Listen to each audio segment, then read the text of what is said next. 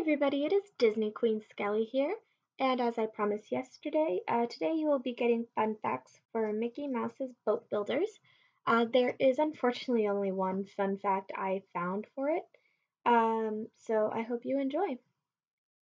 It is shown in front of 2D prints of Meet the Robinsons 2007. And that is your only fun fact for Mickey Mouse's Boat Builders. Tomorrow, as I said, is my birthday, so unfortunately, uh, you guys won't be getting um, a video tomorrow. Instead, um, I'll be posting a um, double feature, which would be Ferdinand the Bull. So I know I said I'd be posting for Donald Duck Beach Picnic, but unfortunately, I couldn't find fun facts on that. Uh, so you guys are going to be getting fun facts for the Enchanted Tiki Room instead.